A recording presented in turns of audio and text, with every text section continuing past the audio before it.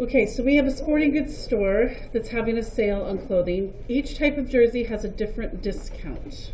Why? Because that's confusing. Stores don't do that. One jersey is fifty dollars with forty percent off, and one another jersey is forty-five dollars with twenty percent off.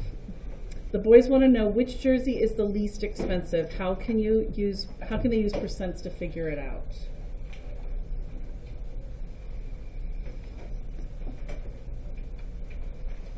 Still seeing some headphones. So that's what I wanted you guys to use our dry erases for. The first jersey they talked about was fifty dollars before the discount. It's not really clear in the way that problem is worded. And this one is twenty percent off. The second jersey is forty-five dollars. I'm sorry, this one's forty percent off. This pen is really smelly. And this one's twenty percent off. Just looking at those, which do you think is gonna be the least expensive? The fifty dollars and the forty percent. Are these two prices at the beginning too far off? Five dollars is not that big of a difference, right? Forty percent and twenty percent, there, that's a pretty big difference.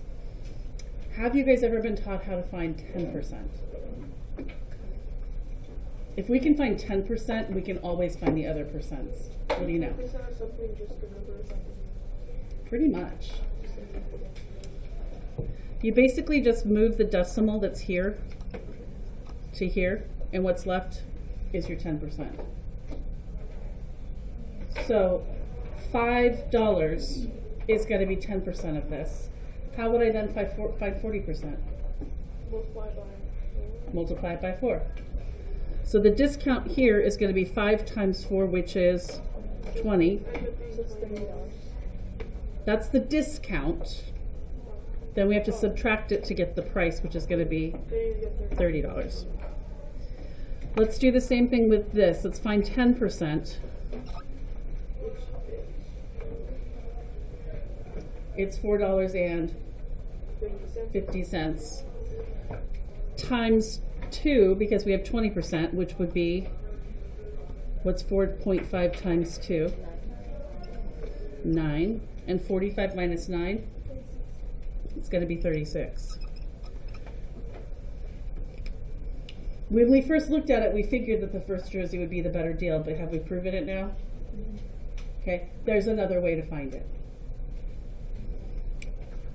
Cross multiplication. What we're comparing is the whole part to the whole. And the part of a sale price is going to be the sale price. The whole is what it was to begin with. So for the first one, we're going to put the $50 down here. And on the right side, we're going to write a percent ratio. The discount is 40%. So if I set it up like that, this is what we don't know. Well, we do because we figured it out already. It should be 30. But we're going to put our variable there because we're trying to find out what the discount is. And the discount is going to tell us it's $20. If I cross multiply 40 times 50, go ahead, that's what you have your calculators for.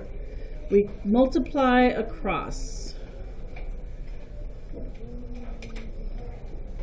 So this equation is going to be 40 times 50 is equal to 100 times x. What did you get when you multiplied 40 times 50? Where's your calculators? I know you can do it in your head, but I want you to calculate it because we're going to divide in a second by 100. Hmm? So we have 2,000 is equal to 100x. To find out what x is, which is our discount, we're going to divide both sides by 100. But in your calculator, that just means 2,000 divided by 100, which is going to give us 20. The hard part with that is people forget to do the next step, which is to subtract it from the original. They think they found the answer. Do you see how people could stop there? Can I show you a better way? Let's go back up to our cross multiplication and we're gonna reset this up.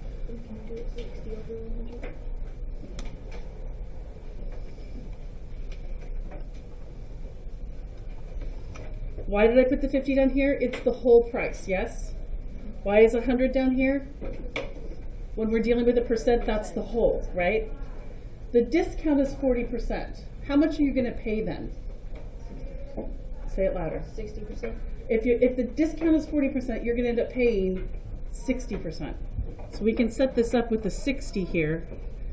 And now it's not gonna be the discount, it's gonna give us how much we're paying. This is gonna give us the sale price. We cross multiply sixty times 50. 3,000 is equal to one hundred x. Three thousand divided by one hundred is gonna give us thirty.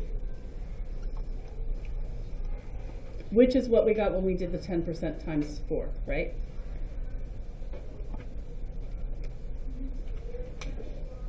I want you guys to do this method for the other problem, the forty-five dollar twenty percent off. See if you can find it the same way. If it's twenty percent off, how much are you going to pay? What's the other part of 100 from 20? 80.